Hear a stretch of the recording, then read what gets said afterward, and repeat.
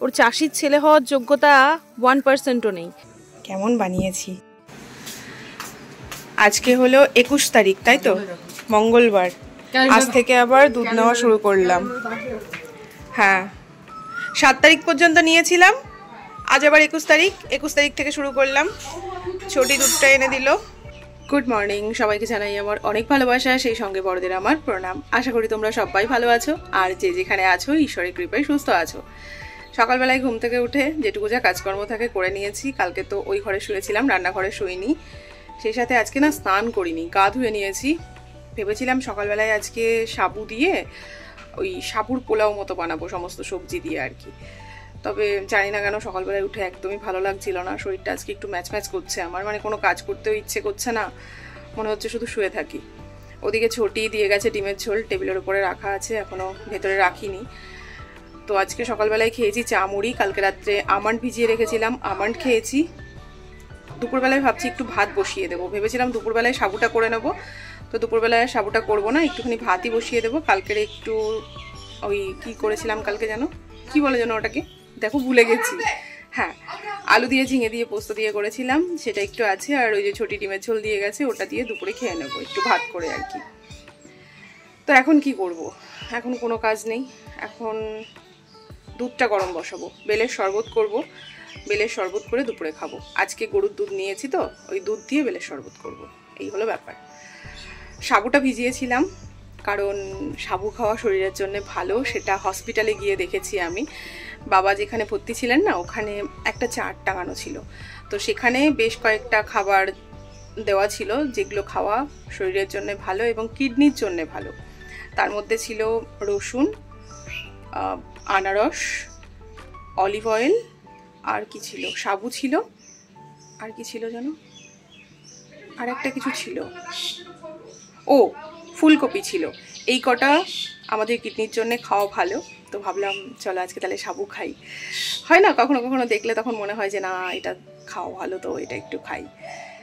আমি না শিয়ালদা থেকে আসার সময় একটা ড্রাগন ফ্রুটস এনেছিলাম। আমি কখনো ড্রাগন ফ্রুটস খাইনি। বহু বছর হয়ে গেছে বাজারে ফলটা এসেছে, কিন্তু আমি কখনো কিনিও নি, টেস্টও করিনি। আজকে প্রথম করব। সেই সাথে নেতুবাবু ফোনে দেখেছিল। ওর মাকে বলেছিল, ও খাবে। তো কখনো আনা হয়নি। তো আজকে আমি এনেছি, ওকে ফলটা দেখাবো, দেখানোর পর ওর রিয়াকশানটা কি হয়, চলো দেখি। ওই যে বসে আছে। আমি বললাম, এসো, তোমাকে একটা জিনিস দেখাবো। চলো দেখাই ওকে। এরকম দুঃখী হয়ে বসে আছো কেন? এই দেখো, এটা কি বলতো? কি বাবা এটা? দেখেছ? আমাদের নেতুবাবুর নামও জানে। আমরা এবার এটাকে কাটবো, কেটে খাব। কি খুশি? ও মোবাইলে দেখেছিল। বাবা কিনে দেয়নি। যে মা কিনে নিয়ে এসছে। এখন আমরা সবাই খাব।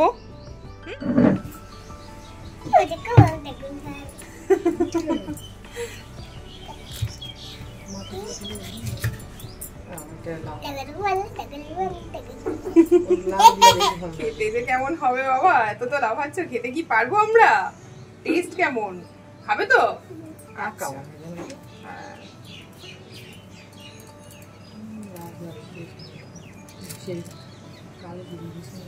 কালো জিরে।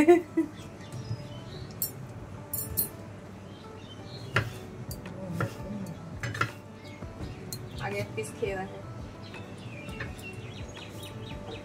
খাও খাও। টেস্টি আচ্ছা খাও।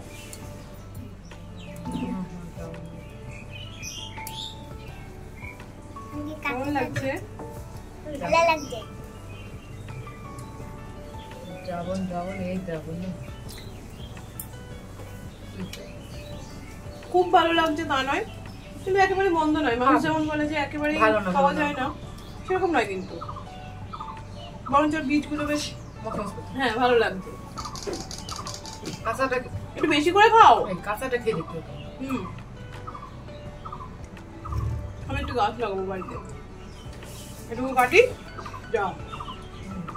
যে সবাইকে একটু টেস্ট করিয়ে আসি হ্যাঁ। হুম। আমাদের বাড়ি কেউই খায়নি মনে হয় কখনো। হুম? হ্যাঁ চল। আমরা তিনজন তো টেস্ট করলাম এবার বাড়ির বাকি মানুষদেরকেও একটু টেস্ট করাবো। নতুন ফল তো? এক পিস তুলে নাও নতুন ফল। তোমাকে দেখাচ্ছে ও খাচ্ছে। সেই ড্রাগন ফল বলে না? সেই ফল। নাও এক পিস নাও। হ্যাঁ। আমি তো এই জিনিসটা কোনোদিনই খাইনি। আমি নিজেও খাইনি। আজ প্রথম। তুমি খেয়ে তো দেখো। বলে মদ দেওয়া। কেমন খেতে কাকিমা? ভালো লাগছে না? আমাদের তো ভালো লাগছে গো।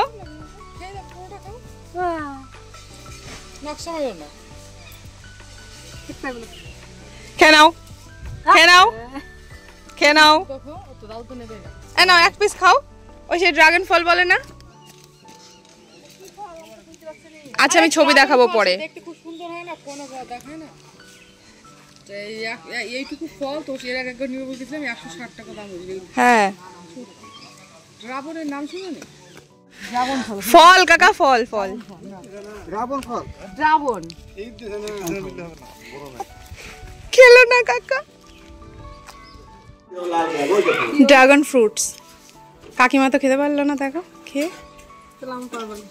যে কোনো জিনিস একবার টেস্ট তো করো। না, তুমি একবার টেস্ট করো। টেস্ট করো। দেখো, তোমার মা টেস্ট করল না ড্রাগন ফ্রুটস।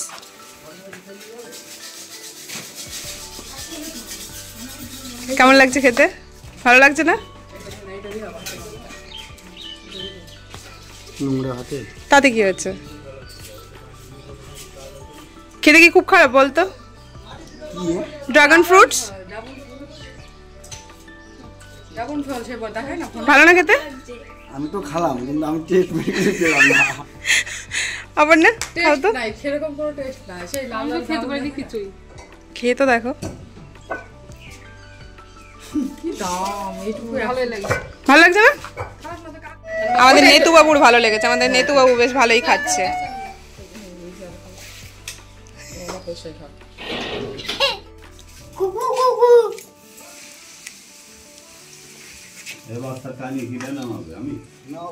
খেয়ে বলো। ভালো লাগছে না বলো? কাকিমা খেলোই না খেতেই পারল না কাকিমা। আমার তো বেশ মিষ্টি মিষ্টি লাগল। ও কাকু খাবারটা? খাও খাও।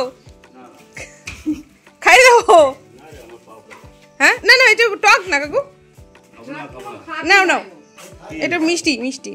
ওই সেই ড্রাগন ড্রাগন ফ্রুটস বলে না? নাও। না মিষ্টি মিষ্টি খাইনি আমি সুগার আমার নাও তুমিই খাও। তোমার এই সব থেকে বেশি ভালো লেগেছে। বাটি ধরে দেবো না তোমাকে।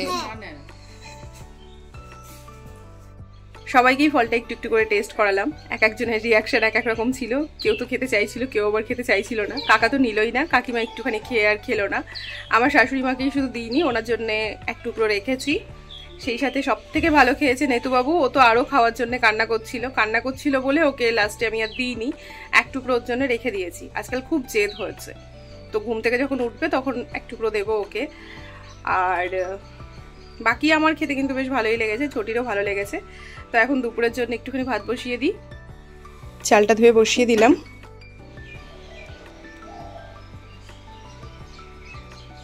কে এটা? আমাদের অক্কবাবু এসেছে। স্নান করেও অনেকক্ষণ বসে থেকে গেছিল আমার কাছে, ছিল। টিপ পরিয়ে দিয়েছিলাম ছোট করে, ওর মা গিয়ে আবার কপালে একটা বড় চা দেখে দিয়েছে। হ্যাঁ? যে আমার টিপ পরানো পছন্দ হয়নি মায়ের আরও বড় করে দিয়েছে? ঠিকই করেছে। বড় বড় টিপ পড়তে হয় জানো? ওর মা দিয়ে গেলে একটু কাজ করবে আমিও খেতে বসবো। ছোটি অক্ককে নেবে তারপর আমি খেতে বসবো না বাবা? অকু বসা শিখে গেছে। বসা শিখে গেছে গো। আখি চলে এসেছে অর্কবাবুর কাছে। ওরা দুজন বসে একটু খেলুক। ততক্ষণে আমি খাবারটা খেয়ে আসি। বুঝলে অক্কবাবু? ভাতটা বেড়ে নিয়েছি, সেই সাথে আছে ঝিঙে আলু পোস্ত আর ছটির দেওয়া ডিমের ঝোল। খাবারটা খেয়ে নিই নিয়ে এসো আখি, আমার কাছে নিয়ে এসো ভাইকে।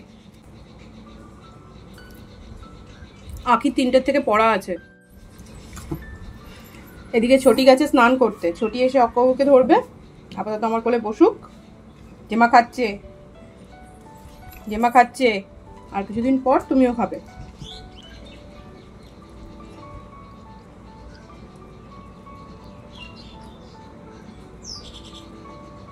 কি হচ্ছে? কি হচ্ছে? না হাত ছাড়বো না আমি।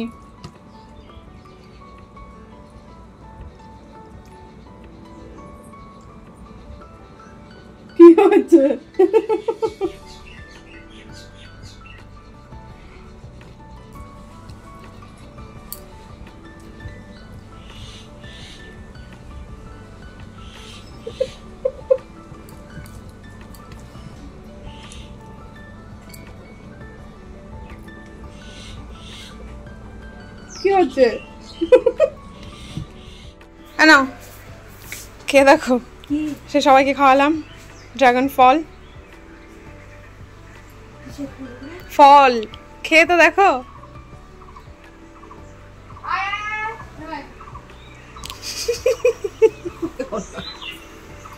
ওটা তো খাও। দেবো বই যে। তোমার জন্য এক পিস রেখেছিলাম। Dragon fruits.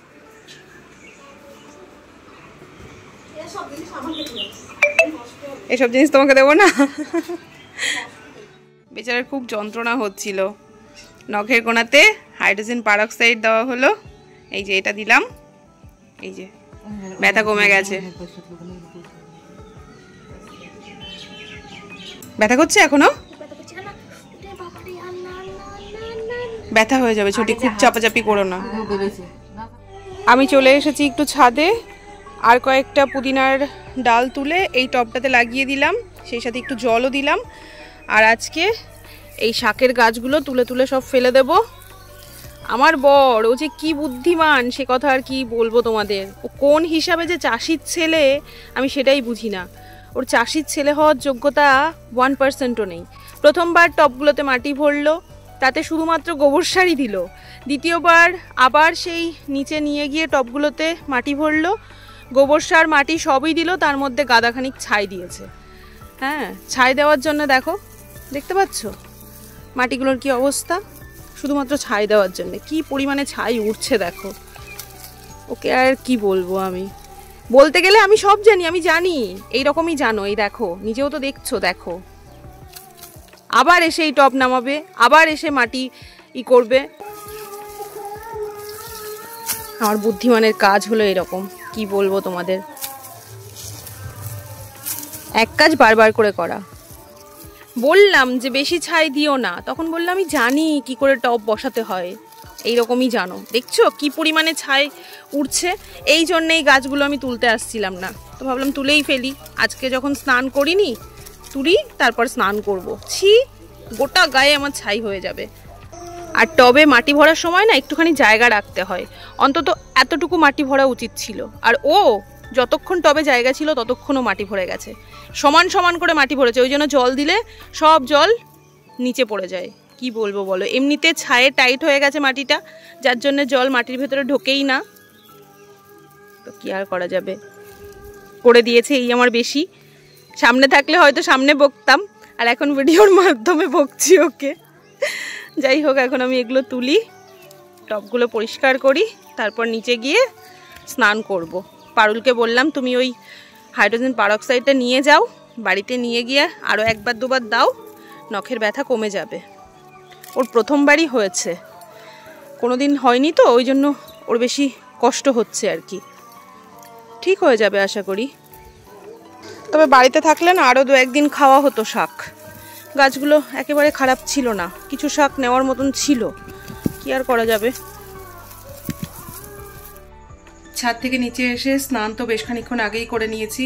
বেশ কিছু জামা কাপড় জমেছিল, সেগুলোকে একটু জায়গা মতো রাখলাম। কিছু জামা কাপড় খাটের উপরে আছে, ওগুলোকে পরে জায়গা মতো রাখব।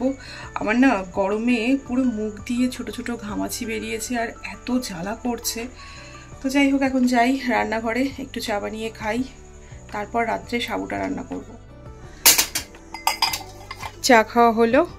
ফ্রিজ থেকে সাবুটা বের করে নিয়ে এলাম। আসলে কালকে রাত্রে ভিজিয়েছিলাম তো। তো সেই জন্যে সকালবেলায় ফ্রিজে রেখে দিয়েছিলাম করিনি বলে। তো যতটা সাবু নিয়েছিলাম, তার থেকে দ্বিগুণ জল নিয়েছিলাম। সাবুটা দেখো কি সুন্দর ভিজেছে। আর এবার এই সবজিগুলো একটু কেটে নিই।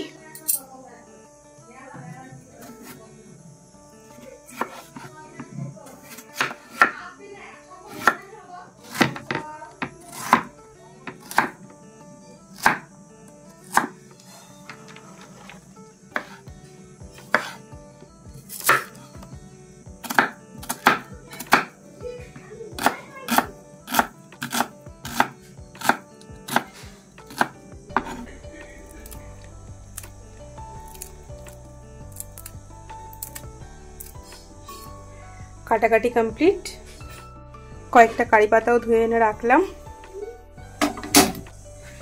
একটা কড়াই বসিয়ে দিলাম। কড়াইতে দিয়ে দিলাম একটু সর্ষের তেল। তেলের উপরে দিলাম একটা শুকনো লঙ্কা আর গোটা জিরে। কয়েকটা কারি পাতা দিয়ে দিলাম।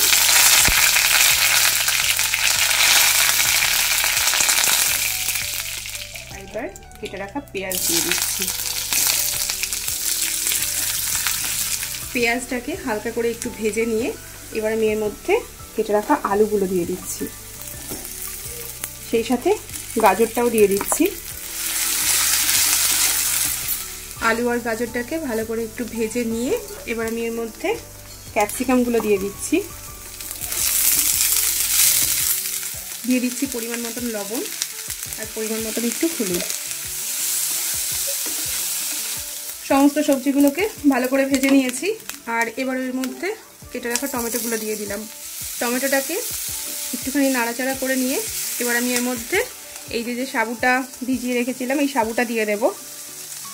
সাবুটা দেখো কি দারুণ ভিজেছে। আর দেখতে কি দারুণ লাগছে।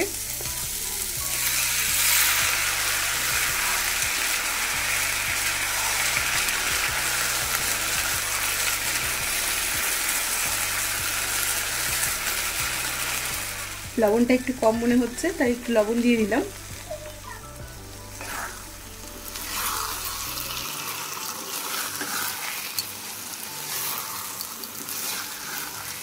আর কিচ্ছু দেব না। আমার সাবু রান্না হয়ে গেছে। সাবুটা মোটামুটি একটু ভাজা হয়ে গেছে। হালকা একটু জল ছিল, জলটা টেনে গেছে। এবার গ্যাসটা বন্ধ করে দিলাম।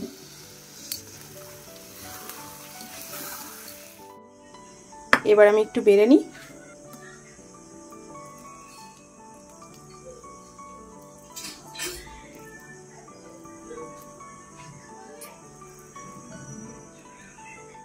টেস্ট করে দেখো একটু। এবার আমি একটু টেস্ট করি আর তোমাদের বলি কেমন হয়েছে। এটা কিন্তু আমি এভাবে প্রথমবার বানিয়েছি। তো এবার তোমাদের খেয়ে বলি কেমন বানিয়েছি। দেখে তো বেশ লোভনীয় লাগছে।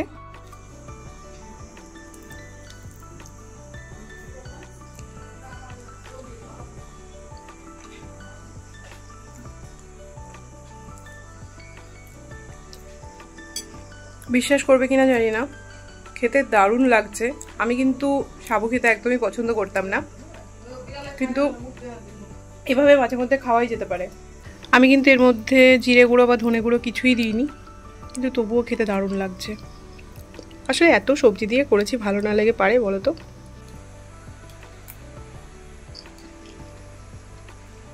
একবার এভাবে বানিয়ে খেয়ে দেখো। যারা আমার মতন সাবু খেতে পছন্দ করতে না তারাও পছন্দ করবে। আমি না পুরোটা খেতে পারলাম না। ভেবেছিলাম পুরোটা খেতে পারব, কিন্তু না পারলাম না। এটুকু থাক, সকালে খাব। খাবারটা কিন্তু যথেষ্ট ভারী খাবার। পেট ভরে গেছে আমার। তো ওইটুকু থাক, সকালে ব্রেকফাস্ট হয়ে যাবে আমার। তো এখন বাসন টাসন ধুয়ে রান্নাঘর পরিষ্কার করব।